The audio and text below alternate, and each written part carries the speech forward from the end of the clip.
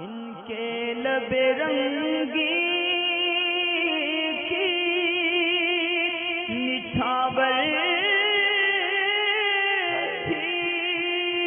कि जिसने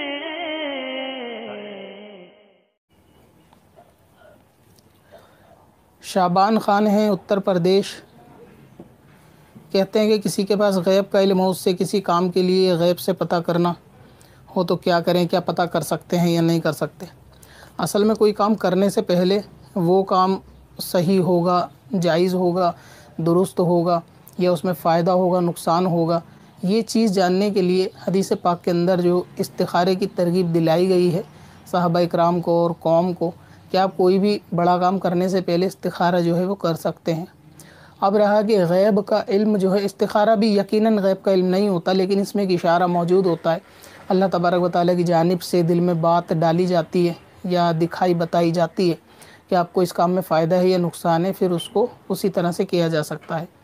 अब ये कि किसी से अगर गैब की बात जानना, यानी आप कहना चाहते हो कोई मुस्तबिल की बात या अपने बारे में हालात या ऐसी कुछ चीज़ जानना, किसी के पास जाके दुरुस्त है या नहीं तो जिस शख्स के पास जाया जाएगा, उसकी हालत आपने इसके अंदर ज़ाहिर नहीं की। अगर सवाल ये मुतलकन है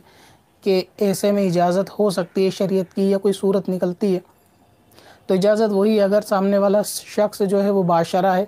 और शरीयत का जो है वो पाबंद है और सही अकीदा सुन्नी भी है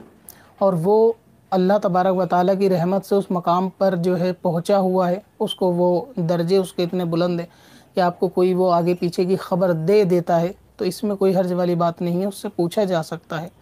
मसलन ये कि इलाके के अंदर कोई पीर साहब मशहूर हैं और बंदे उनसे मशवरा करने जाते हैं कि हम ये कारोबार शुरू करने चाहते हैं, आप दुआ करें। और वो शख्स आपको कहता है कि आप ये मत करो, इसमें नुकसान होगा, क्योंकि वो आगे की बात बताता है। तो ये जो है वो मुमकिन है। अल्लाह तबारक व अपने पसंदीदा बंदों को जो है वो इल्म गैब का हिस्सा ज़रूर अता करता है, जो कुरान हदीस से साबित है। तो इस तरीके से किसी बाशरा कामिल के पास जाकर अपने बारे में कुछ मालूम करना या किसी चीज़ का मशवरा लेना, कारोबार शुरू करने से पहले या हालात शुरू करने से पहले तो इसकी गुंजाइश है। दूसरा ये कि अगर आपने मशवरा नहीं लिया, फ़कत कोई कामिल आपको ख़ुद इशारतन कोई चीज़ बता दे कि आप ये मत करो, इसमें नुकसान है, या फिर ये करो, इसमें फ़ायदा है, या किसी काम से रोक दे, आने वाले हालात को मद्देनज़र रखते हुए तो उससे भी फिर वो रुक जाना, परहेज़ कर लेना, ये बेहतर है। तो इस तरह से आप जो है किसी वली कामिल के पास जाके अगर मालूम करें कोई मशवरा करें हालात को लेकर या कोई चीज़ शुरू करने से पहले तो इसको गुंजाइश निकल सकती है। पत्थर